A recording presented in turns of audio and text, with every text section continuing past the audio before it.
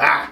Good morning, good afternoon, and good evening, YouTube. What's going on? It's your boy Joey Does Tech, and welcome yourselves back to a brand new video. Light keeps changing, man. Today we have a very, very special video. Uh, well, to be honest, I don't know if it's going to be too special in the way that I fix it or I don't. I've no idea what to expect. I've no idea what the actual fault is on the console, but man, am I ready to try and crush this challenge. First of all, a huge shout out to Phil over at the YouTube channel The Coder. I'll leave a link to his channel in the description box down below. Please make sure to check it out if you haven't already. Phil was an exceptional console repair technician. I don't actually know if console repairs is all he does, but I think it's the majority of what he does on his YouTube channel. He's amassed over 26,000 YouTube subscribers and he is constantly supporting the smaller community of repair technicians on YouTube, such as myself. He has sent me an original Xbox One. I believe this Xbox One came from one of Phil's viewers, and to that viewer I also say a huge thank you. I believe the viewer themselves has sent Phil a couple of Xbox Ones, and Phil was kind enough to say, Joey,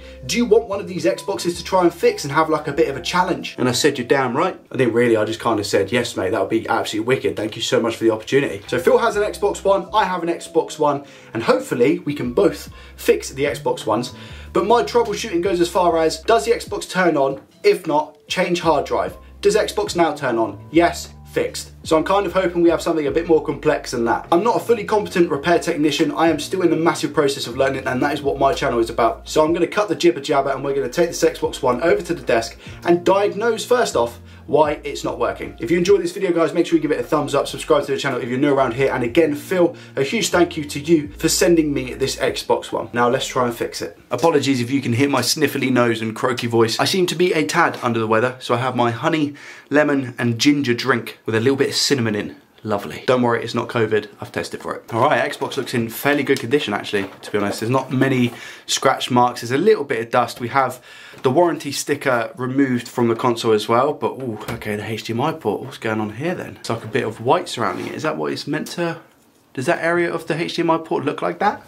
I'm just referring to another model that I have and this one isn't nowhere near as bad. I mean, it's it's it's it's got white scratch marks around it, but I feel like this one has had a lot of uh, a lot of tussle with whoever's tried to put the HDMI in. What I will say is that the pins on the HDMI itself look fine. I've not tried to turn it on yet, so this is just me kind of guessing that it might be a display issue. But other than that, the Xbox itself, even though the warranty sticker is missing, it looks like it's in pretty good condition. Let's see what happens when we try to turn it on and feed it a disc. Where I've just put the power in, let's see if the Xbox actually turns on first of all. No. So I've just put that power cable in, which is a known good power supply, by the way. That power supply hasn't even turned onto the white light, so it's just stayed orange. And uh, I'm trying to put the Xbox on, and it's not having it. So let's take it apart. First things first, we pop the hood, and we remove the sync button. We take this part, push down, separate, flip it over, keep that pushed, take prying tool, clip one, clip two, clip three. Put on its back so we can take off the front ribbon cable. To do this should be pretty simple. Every time I've said that it's not been. Lift the cable up as such, put the prying tool in the latch and push. Now you can move the top of the Xbox case away from the body of the Xbox. I like to use a T9, but I think these are T10 screws, but the T9 fits both this and the screws that you need for the Wi-Fi board as well. The Wi-Fi board is missing a screw here. I'm just gonna put the power cable in again and see if I can hear maybe like any, any startup or anything. So the fan doesn't even get any power, you see that? So when I put the power block in, the fan will usually spin if the device is receiving any power, I think anyway. This is all guesstimating, by the way, guys. I have no idea what I'm doing. Take the power back out. I'm gonna get the board out. Last but not least, use our X-clamp tool to take off the fan. All right, a little bit of dust, but nothing horrendous at all. All right, so I'm just having a look on the face of it first off, like a visual inspection, and although it's a little bit dusty, I can't really see anything that jumps out at me as such, especially down the power rail side of things. So I recently learned after doing my video from last Saturday and doing a stream the day after on the Sunday that this is obviously the power rail and these are MOSFETs. You've got two, you've got a tiny MOSFET here and then you've got the bigger MOSFET here. But I don't know whether to measure those first or check the actual voltage rail. I have a voltage diagram for the Xbox One, so I'm unsure on what to do first. But before I think about doing anything like that, I think I just need to give it a dust. Not necessarily a clean with IPA, but just a quick dusting because there's quite a lot of stuff in the ports and I feel like this board just needs a little bit of TLC before we have a look. The only thing that I've just noticed actually is that this coil doesn't seem to be sat right. You see how it like goes over the line? I don't think that's gonna really affect anything, but it's definitely something that we'll check. So I'm gonna take this outside real quick and just give it a real quick dusting.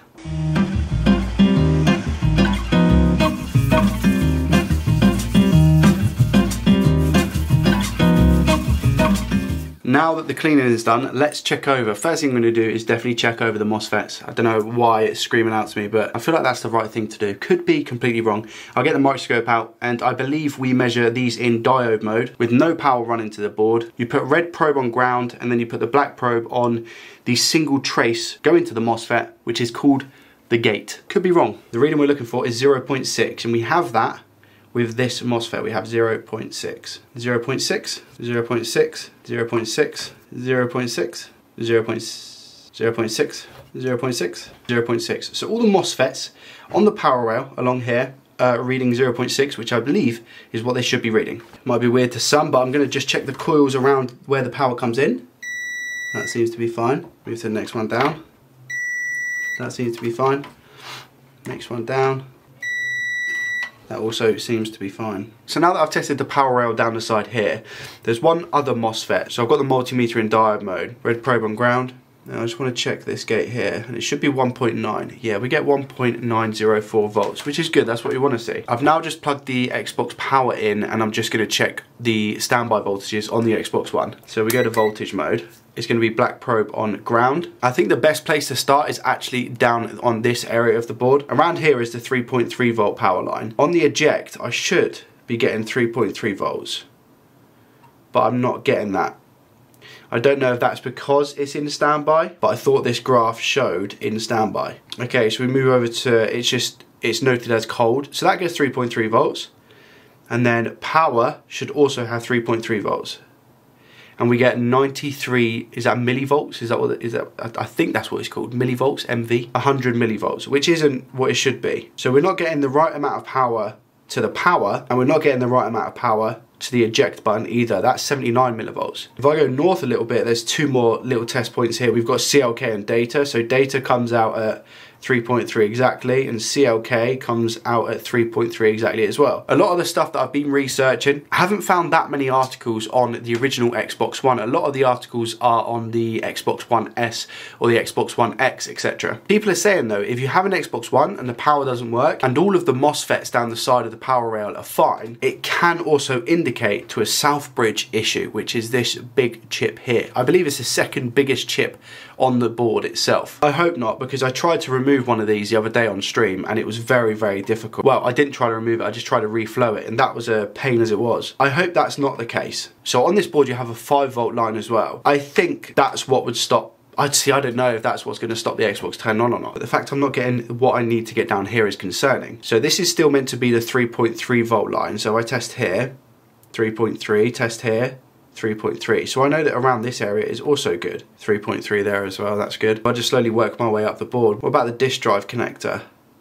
That gets 3.3. The second pin in is meant to be shown as 3.3 volts as well, but that's coming up as 4 millivolts. And then this next to it as well is also, that's meant to be showing 3.3 volts, but that's coming up as 006 millivolts supposedly up here as well there's more 3.3 voltages so we need to go up here. See that's shown as 3.3 which is just above the, I believe that's, is that SATA? So let me just divert my attention to the 5 volt line. Logically in my head, if power is coming in here, then the closest voltage bit near the power is where I should start. So there is a component missing here, but it's, it's shown as 3.3 where it needs to show 3.3. That's on all the other boards that I've worked on as well. For some reason there's a component missing here. There's meant to be a 5, so we're meant to have a 5 volt here, Oh, okay, so that's shooting all around the place. You see that? That's a 1.2. That's a 1.2 volt. And we're meant to have a, this is meant to be a 5 volt line, this one. But it's coming up as 1.2. Let me just confirm with you guys where that is on the board. So we've got the power in here.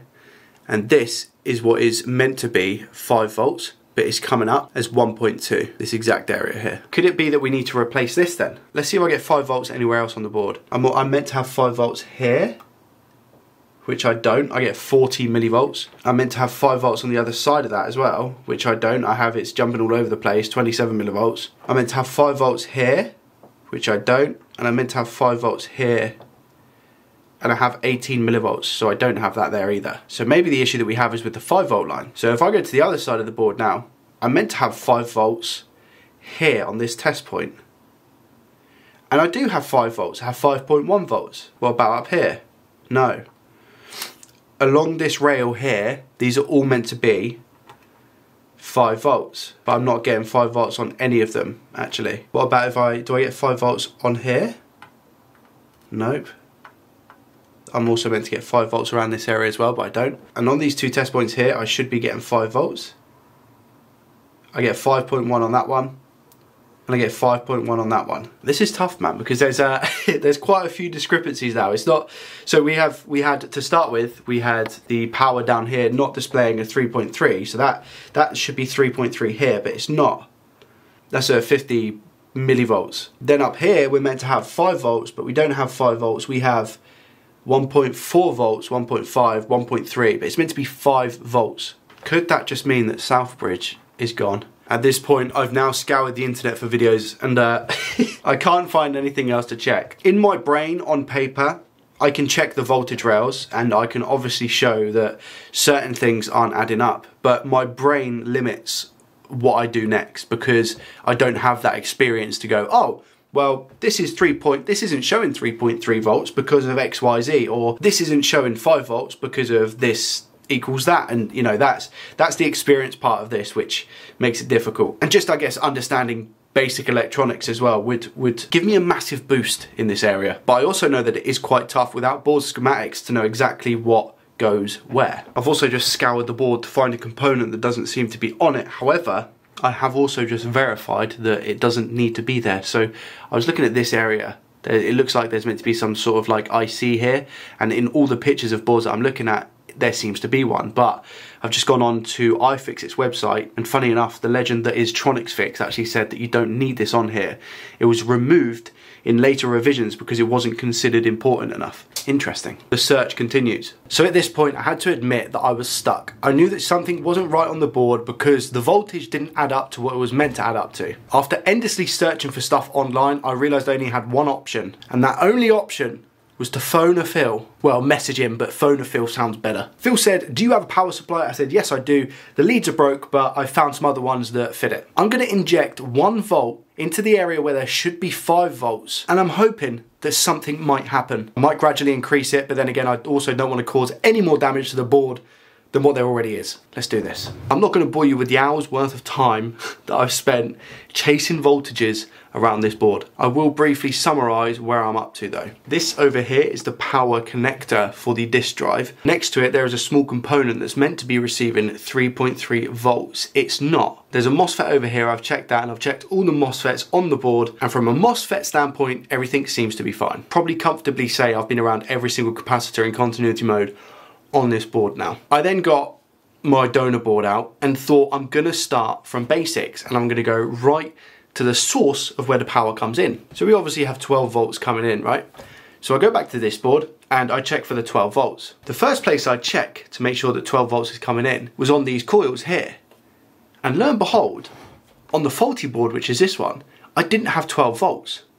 But I've got 5.5 and I've got 3.3 and I've got 1.8 dotted around the board, but I just don't have 12 volts. So I tried looking online to see if there was anywhere that said where the 12 volt line was, like to follow, and I couldn't find anything. So this is what I found. This is my donor board. This is a good working board. It's just very, very grimy and has a lot of damage everywhere, but somehow still works. I'm not necessarily comfortable to sell this one to somebody.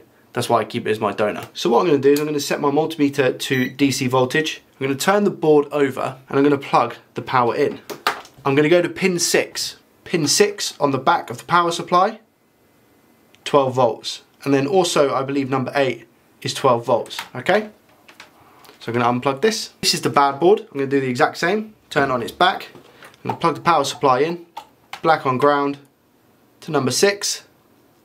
And we get 240 millivolts. And it's just all over the place. And if I go to number eight as well, nothing. However, if I go to number 10, I get a 5 volt line.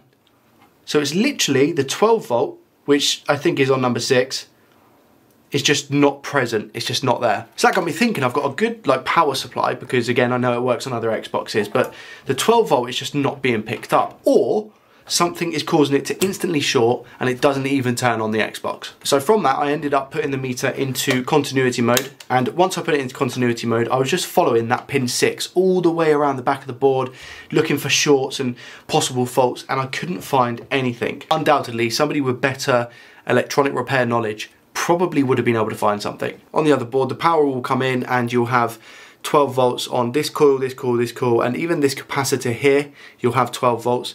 I get nothing. I get nothing on this first coil at all. So whatever is causing it is literally killing it straight away. I've also tried injecting voltage into what I was talking about earlier, this 3.3 volt line here, but I've tried the AOI test and there doesn't seem to be anything getting hot even remotely. I started with one volt and I just worked my way up. Something to note as well, there is also a resistor here. On this board, it doesn't carry the 12 volts. So the 12 volts just isn't going anywhere on the board at all. I've been on this for hours now. So that then got me thinking, if I put the multimeter into continuity mode, and then I go to pin number six, which is on the back of this board, because I thought it could be a loose connector, right? So I'm on pin six, and then I take the red probe, and I get continuity from inside the connector. So what's weird is that the port is connected to the pin on the back with the solder part. So I'm thinking we have a short to the 12 volt line. And again, I follow this pin to so many different places on the back and I just can't locate what might be causing the short. I think I've done enough to prove it's probably not going to be a dodgy a dodgy port if I get continuity in between here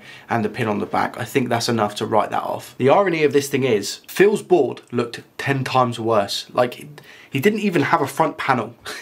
he was being a true gent and he even gave me the Xbox that looked better. Alas, it matters what's on the inside. It's now next day and I cannot find a short on the board and I've also tried the IPA method. I've sprayed the whole board, injecting different voltages all the way from one volt up to five volts to see if there is anything that is getting hot and I just can't find anything. We still have the exact same issues that we had at the start. I've learned so much doing this, like it's so much more beneficial for me to receive a board like this, which I don't know why it's not working, and I can test all these things and learn different things. That benefits me massively. So I really, really appreciate the opportunity that The Coder, aka Phil, has given me today. I'm sorry it wasn't a fix. I'm due one soon. I'm definitely due a fix soon. But nonetheless, if you know what could potentially be wrong with this board, please suggest it in the comment section down below and I will come back to this 150%. If anyone knows of a certain component which is a, a common fault as to why the Xbox just doesn't turn on and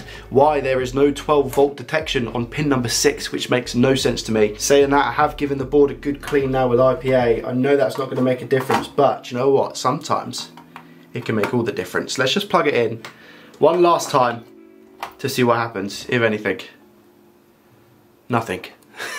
this is a sore defeat, but a great learning opportunity. A massive thank you to those who watched today and a big welcome to anyone who is potentially new to this channel. Huge thank you to Phil for sending me over the Xbox One and I'm sorry my dude that I wasn't able to fix it. Like I said previously, if anyone does have an idea of what might be wrong with the console, please let me know in the comment section down below. And if you hear from Phil's video as well, make sure you comment that down below as well so I can say hello to your faces. I might potentially live stream tomorrow if we can manage to find a potential fix for this Xbox One. Thank you guys so much for watching. Hit that thumbs up button if you enjoyed the video. Subscribe to the channel if you're new around here. And make sure you hit that ding ding dong bell so you receive notifications as to when I upload a video or go live on the channel. Have a great rest of your weekend. Again, thanks Phil. And I will see you all in the next one.